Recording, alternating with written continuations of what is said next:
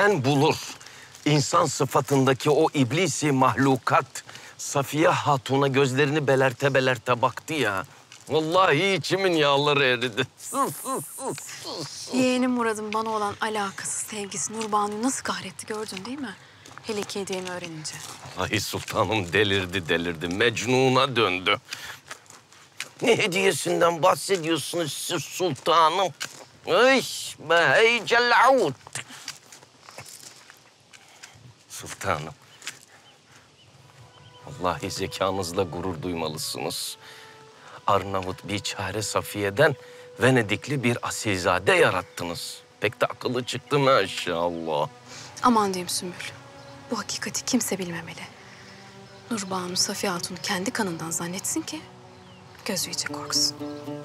Sultanım, Nurbanu Sultan'ın haremin başında olduğunu ve dahi valide sultan olduğunu görmektense gözlerime mil çekerim daha iyi. Valide sultanlık rahmetli valideme bile nasip olmamışken Nurbanu'ya mı kalacak? İnşallah. Safiye'nin sadakatine inanıyorum. İyi bir eğitimden geçti. Bütün kinimi içine akıttım. Ektiğim düşmanlık tohumları Nurbanu'nun hakkından gelecektir. Yeğenim Murad'a gelince üzerindeki tesirim malum. Şehzade Selim kardeşleri olmayınca rakipsiz kaldığını sanıyor. Oysa ki en büyük rakibi kendi evladı olacak. Aklınızla bin yaşayın sultanım. Rahmetli validenizin ruhu sizde yaşıyor desem yalan olmaz. Bugüne kadar duyduğum en kıymetli, en güzel iltifat bu Sümbül. Lakin hakikati görmek lazım. Onun boşluğunu doldurmak ne bana nasip olur... ...ne de bu haremdeki başka bir hatuna.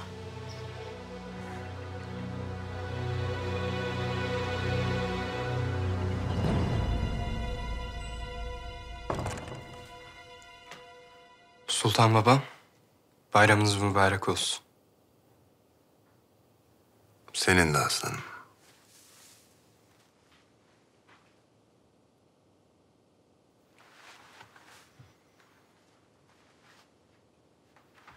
Bu hatun ne iş var burada? Safiye benim gözden validem ve doğacak evladımın anası. Validen müjdeli haberi verdi. Hayırlı olsun. Amin.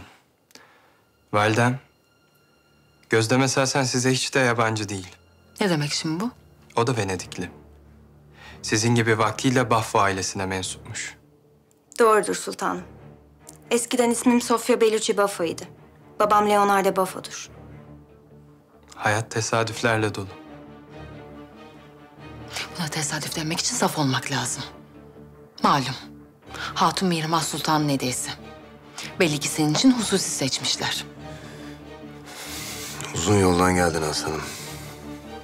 Dairene git dinlen. Sonra hasret gideririz.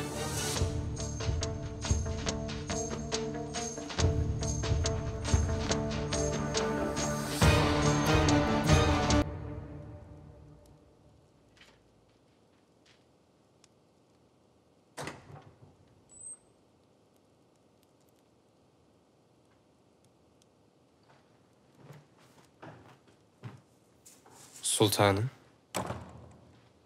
Sultanım. Gözde Cariyen'le birlikte soframa şeref verdi şehzadem. O şeref bize ait.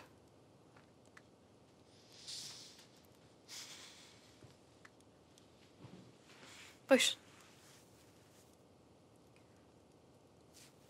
Validen sana Safiye'yi hediye etmemden pek memnun kalmamış anlaşılan. Validem size itimat edemiyor bir türlü. Hep bir kasıt arıyor. Buna sebep sultan babamla aranızdaki mesafe. Yalan değil. Kardeşlerim arasında Selim Gözlem değildi. Bayez'de olanlar yüzünden iyice uzaklaştık. Zira aramıza ölüm girdi. Lakin sen başkasın Murat. Sen benim tek şehzadem, en sevdiğimsin. Merhum amcam Beyaz'da o kadar çok benziyorsun ki. Onun başına gelenler hepimizi perişan etti.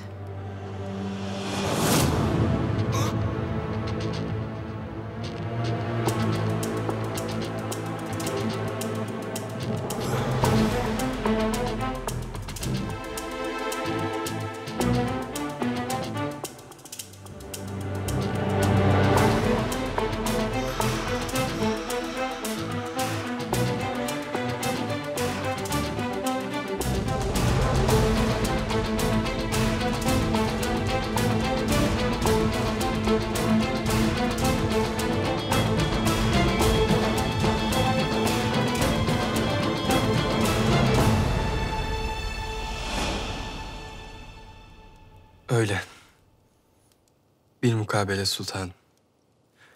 Sevginize layık olmak için çalışacağımdan emin olun. Görmek isteyenler için mazi derslerle doludur aslanım. Kim dostun, kim düşmanın iyi belli.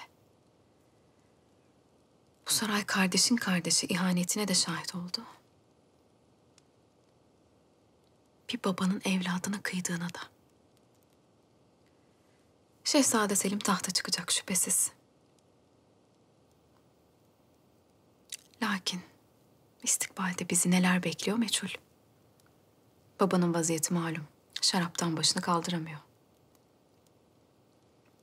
Sultanım, Veliaht babam hakkında sarf ettiğiniz bu laflar hoş kaçmıyor mu? Yiğit bir şehzade olduğun kadar iyi bir evlat olduğun da aşikar. Her daim böyle babana hürmet edecek, onu hep böyle koruyacaksın. Ancak hakikati de görmelisin. Şehzade Selim Kazvin'de kaybettiği huzuru şarap testilerinde arıyor. Halini gördünüz öyle değil mi Safiye? Gördüm sultanım. Allah muhafaza hasta gibilerdi. Sanki kıymetli sultan babamızın ruhu çekilmiş. Maalesef. İşte bu yüzden aslanım. Bu devletin yegane istikbali sensin. Kendini göstermen lazım. Manisa'dayım zaten.